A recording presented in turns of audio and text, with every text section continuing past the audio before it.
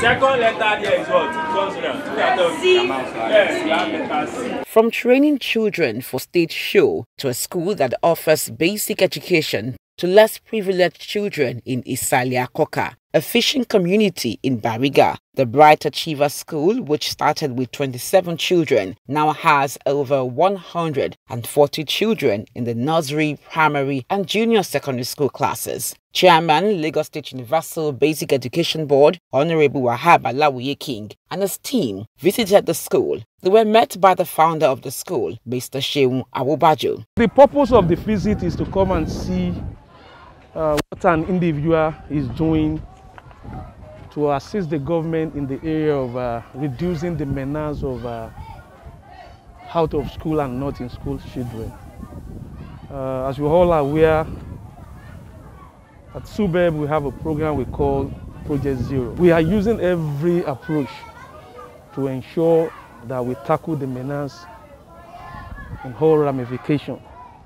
That is why we are here to see how we can work together with this individual who in his own way has demonstrated that, you know, with determination you can actually reach your goal. It's obvious that we are all driving towards one major goal, which is zero tolerance for out of school children.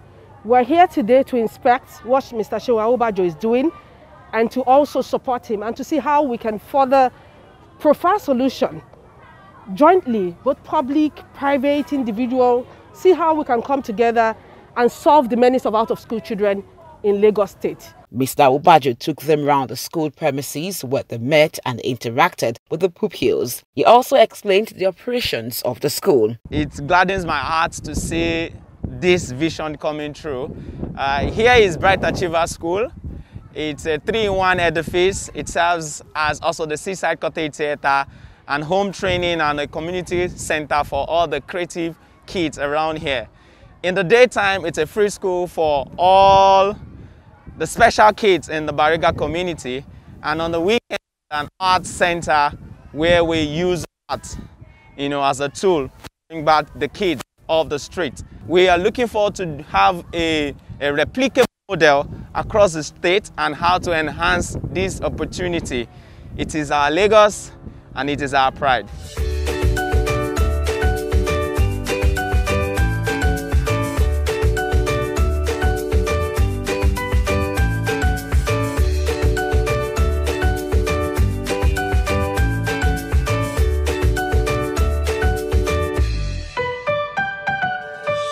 The LASUBEB team says with schools like this, the number of out-of-school children will be reduced.